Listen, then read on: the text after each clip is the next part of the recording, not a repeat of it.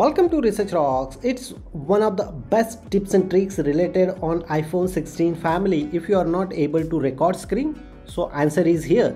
How to record iPhone 16 Plus Pro or Pro Max. You can watch video and fix your problem. So look at this guys. This is my iPhone uh, 16 Pro Max and previously I use here screen recording but now the option is not display here.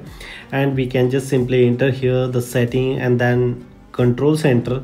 So previously 15 pro max are showing here all application and you can very easily add here in this section. But now the option is not showing. So how i fix this problem?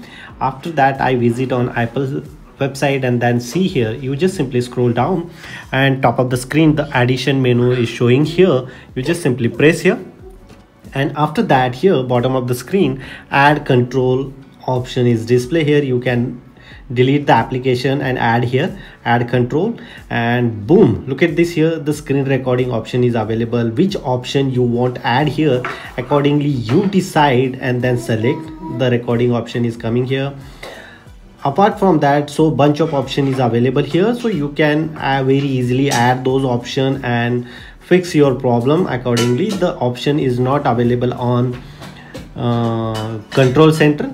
This is a control center. You consider go back and just simply resh and here press long and screen recording option is available here. And you can very easily record the screen and screen recording is a start so this is a new update iOS 18 as well as iOS this is a new update of iPhone 16 Pro Max or 16 family. If you really like this video, so please hit the bell icon, share this video and subscribe our YouTube channel Research Rocks. Till then, Jai Hind, Vande Mataram.